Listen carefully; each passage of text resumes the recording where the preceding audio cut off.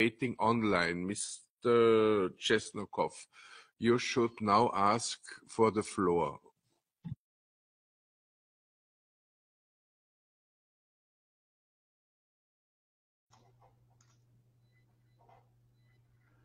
Thank you, Chairperson. Uh, I believe you can hear me. We can hear you very well. Good. Thank you. Uh, dear Mr. President, uh, dear members of the committee, dear participants of this public hearing. At the outset, let me thank you on behalf of the Ministry of Youth and Sports of Ukraine for the opportunity to address the important issue of today's international sport. 14 months passed since Russia, with the support of Belarus, attacked Ukraine, violating the Olympic truce. The decisions and recommendations taken by the IOC on 28 February last year to prevent Russian and Belarusian athletes from participating in international competitions were logical and absolutely fair. They were based on the exceptional circumstances of the situation, as the IOC stated that time.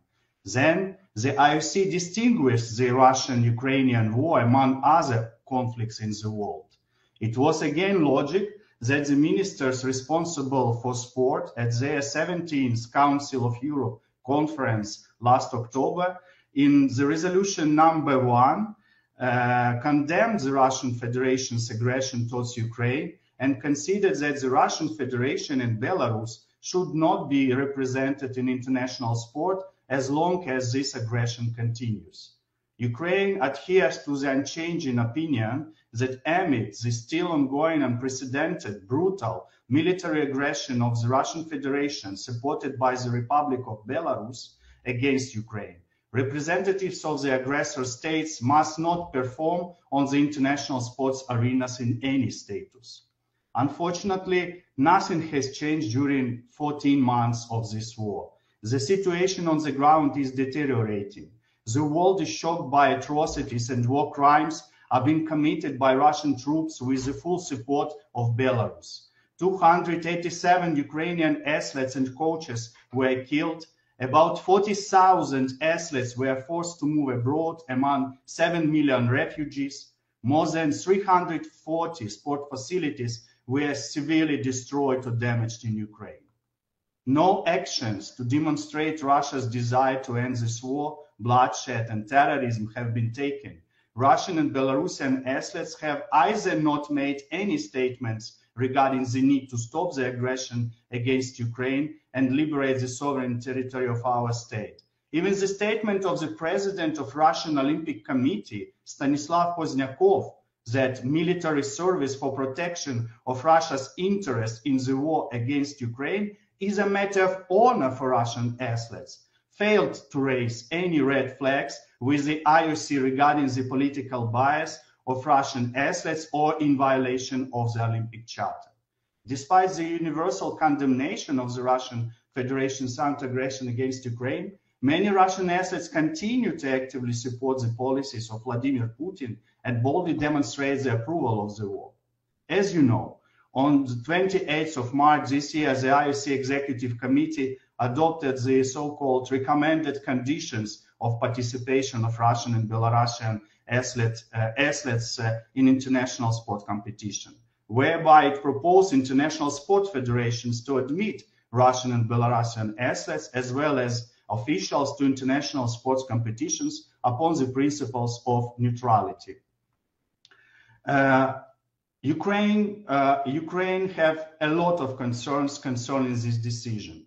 Moreover, we believe the IOC failed to establish an effective mechanism of prevention of using sports as a tool of propaganda by Russians and Belarusian athletes who represent only the government through the state funding, and there is no other way of participating for them uh, the, as members of the national teams.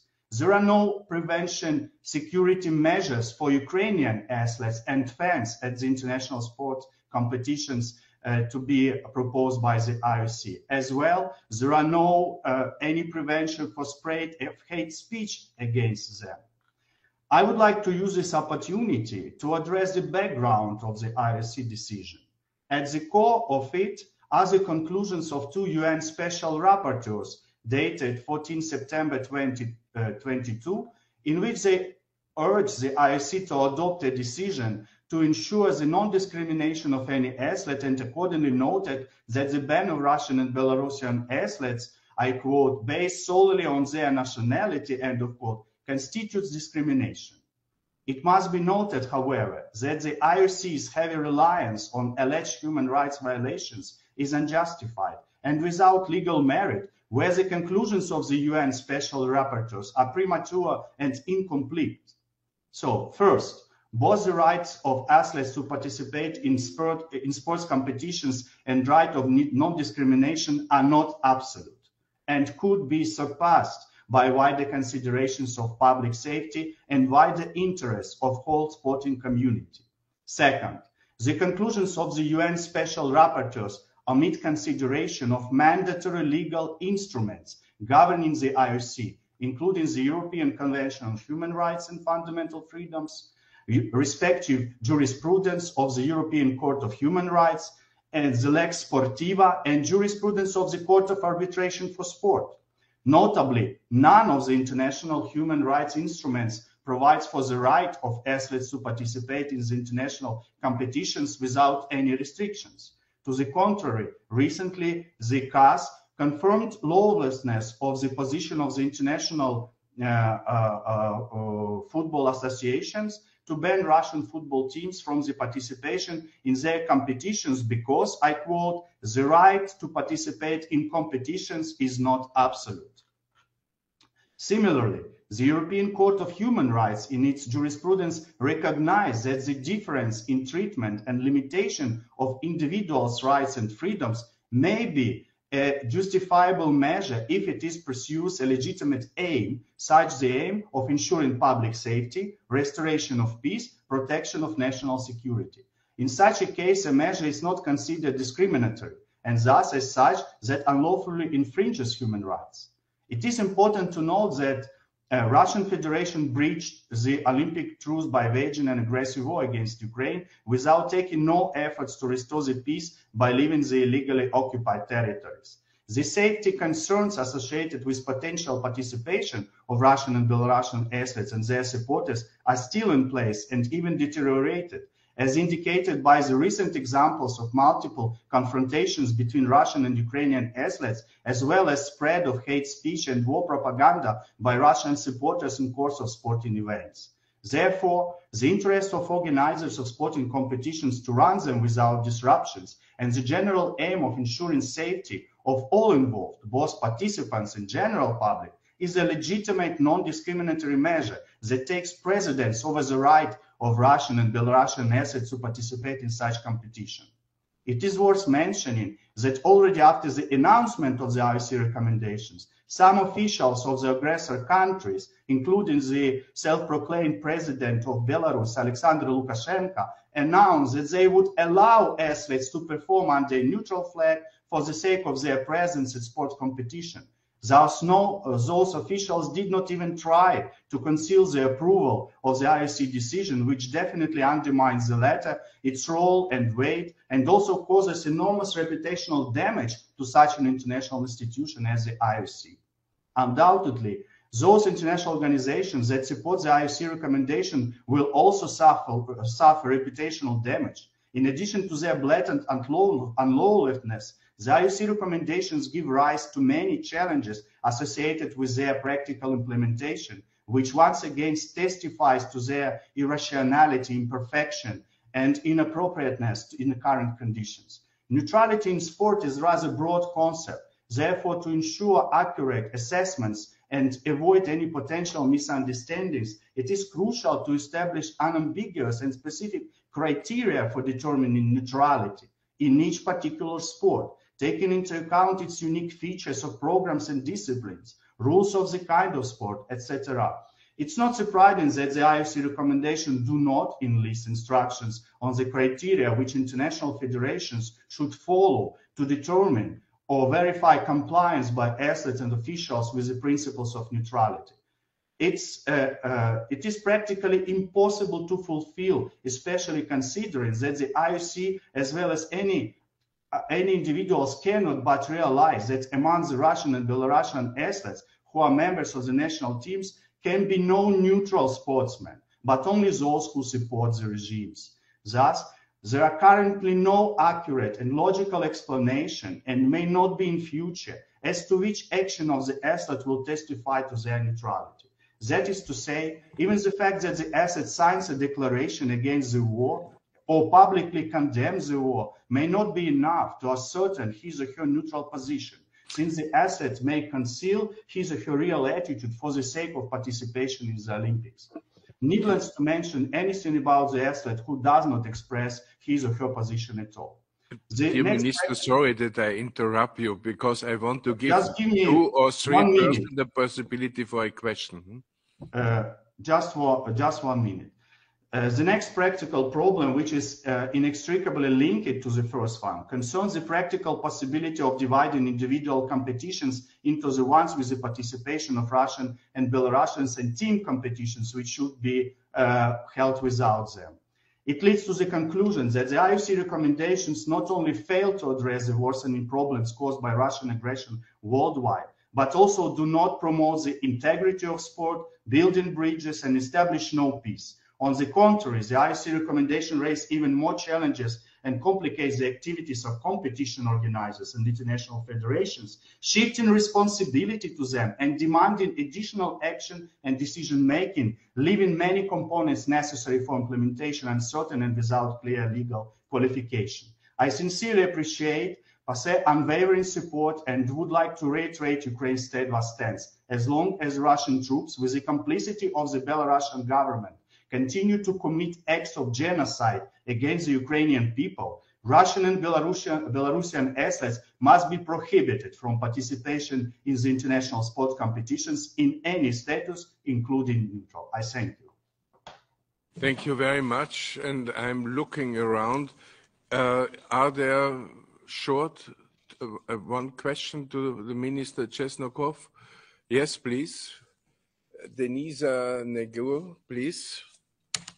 First of all, I would like to express my deepest sympathy to the Ukrainian people.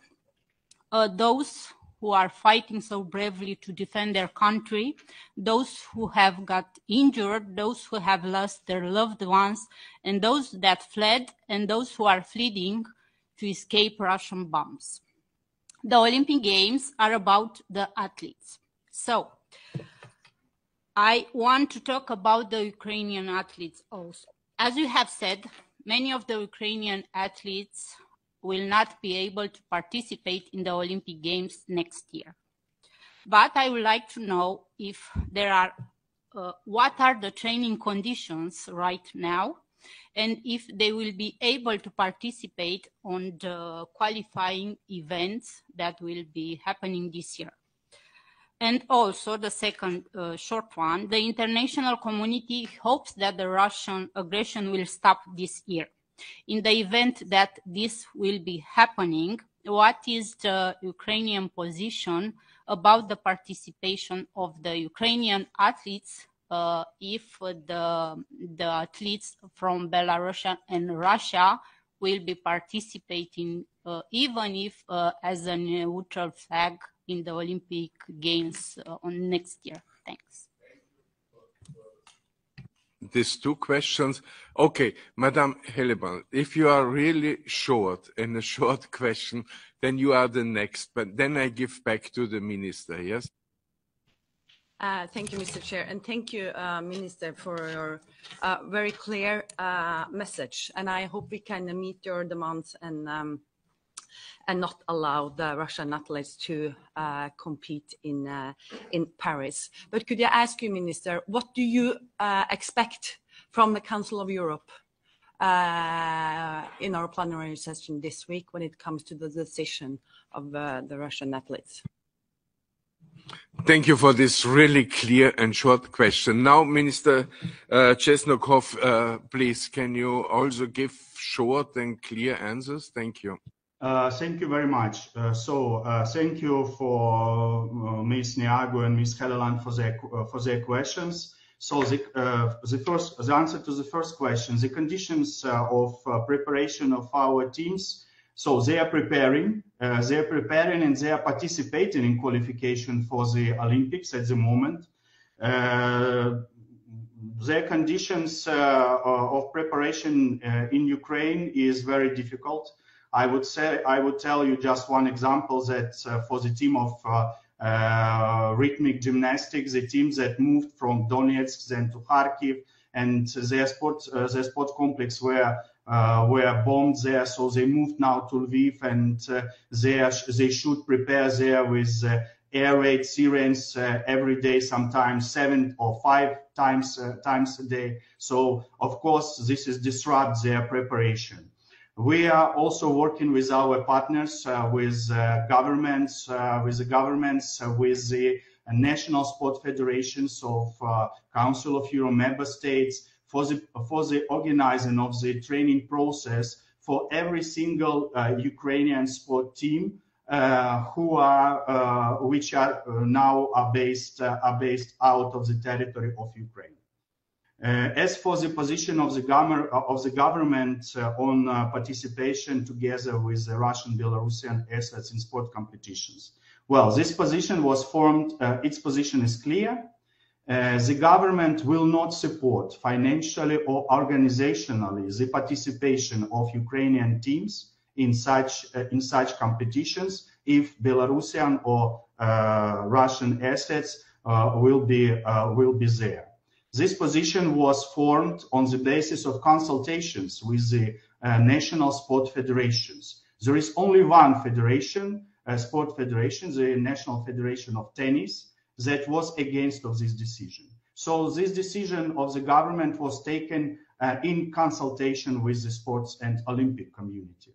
However, this decision does not prevent those athletes who decide for themselves to, to participate uh, on their um, own uh, decision in the competition However, Ukrainian Ukrainian state will not support them financially or administratively, as I said. And uh, speak, answering to the question of uh, Ms. Uh, uh, Helland, I would like to say that uh, Ukraine ex, uh, expects from Parliamentary Assembly of the Council of Europe the continuing unwavering support unwavering support of our sovereignty and territorial integrity within international borders and we believe that for this support, the uh, uh, support for the ban of Russian and Belarusian athletes who are the tools of war propaganda of this both country is very important. I thank you.